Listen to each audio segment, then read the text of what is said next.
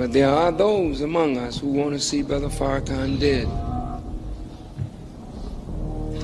And I can't even begin to tell you how terrible your chastisement will be. I don't think you've ever had a man among you by the grace of God that has made the message so plain that even the dumbest of us don't have a, a reason to make a mistake.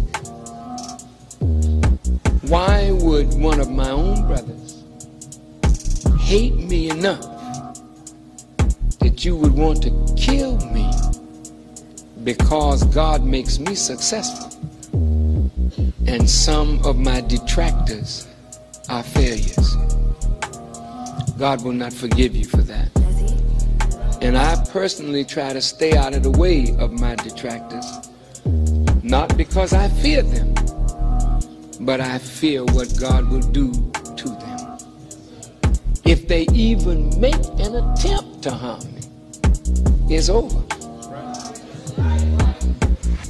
So much force will be released that you will wish that you would never have been born. And if it's Bush, he's a small time fella to the God that I serve. God will kill him so quick. He's nothing. Nothing. Nothing. Not him, not Baker, not Powell.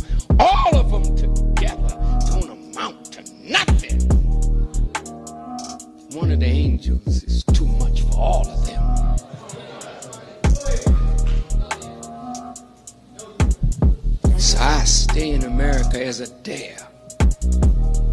God got me here daring these demons. Go ahead. Go on and attack him.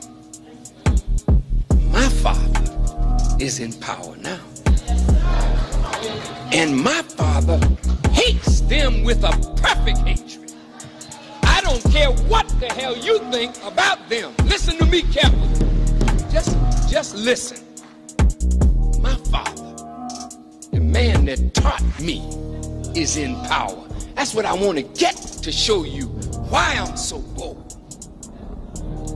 I ain't crazy. I know something.